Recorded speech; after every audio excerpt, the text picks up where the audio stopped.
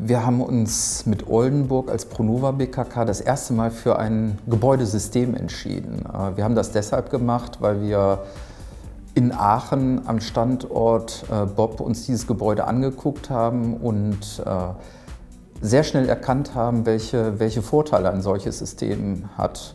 Das heißt, ich sehe heute, was mich quasi in Zukunft erwarten wird. Und das ist für mich das A und O im Rahmen dieser Entscheidung gewesen. Ja, ich weiß, was ich eingekauft habe und ich freue mich darauf, äh, das, was ich dort gesehen habe, dann in Oldenburg auch live erleben zu können. Und ich denke mal, dass dieses System durchaus für die Pronova BKK auch ein System für die Zukunft ist.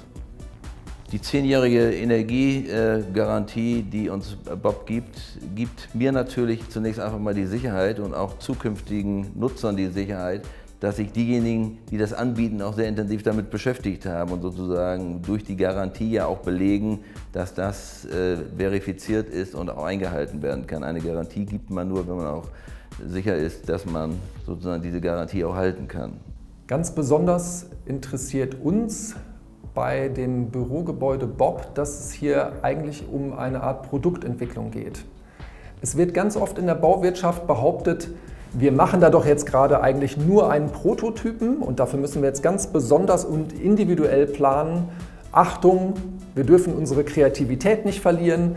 Und das ist genau eine Sache, wo ich glaube, da sind wir mittlerweile eher mit dem Thema Building Information Modeling, gerade beim Thema Bob, in einem stetigen Verbesserungsprozess. Das heißt, wir machen eine Produktentwicklung, die digital ist und von Projekt zu Projekt fließen in dieses digitale Modell immer mehr Informationen ein und das Produkt wird eigentlich ständig Schritt für Schritt besser.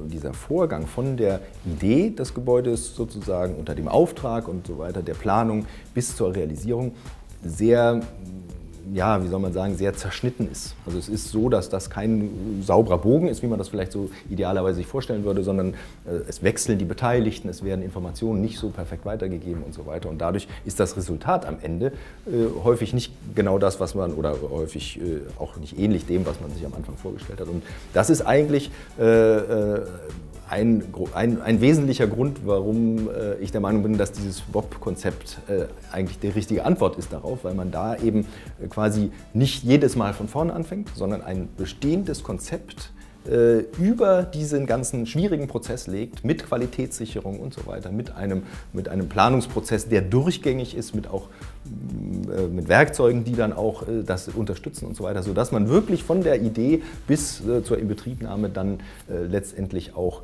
ein durchgängiges Konzept hat und es auch in, der, in, dem, in dem Moment, wo das in Betrieb genommen ist, auch wirklich noch optimieren kann und dann erst, äh, sage ich mal, der, den, den, Kunden begleiten kann, bis, man, äh, bis, man, bis alles rund ist und der Kunde sagt, wunderbar, so habe ich mir das eigentlich vorgestellt.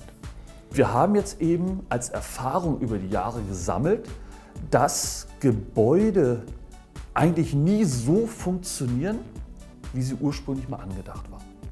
Das bedeutet, ein wichtiger Punkt ist, aus unserer Erfahrung, dass wir diese Gebäude monitoren. Dass wirklich geguckt wird, was hatte ich ursprünglich geplant und dass ich dann über ein paar Jahre schaue, wie verhält es sich wirklich korrekt. Und da gibt es genügend wissenschaftliche Untersuchungen und jetzt auch Erfahrungen beim Bob, dass über ein nachträgliches Monitoring und Feintuning des Gebäudes auf den realen Standort, auf die realen Nutzer, dass dort eine Energieeinsparung in der Größenordnung von 30 bis 50 Prozent realisierbar ist.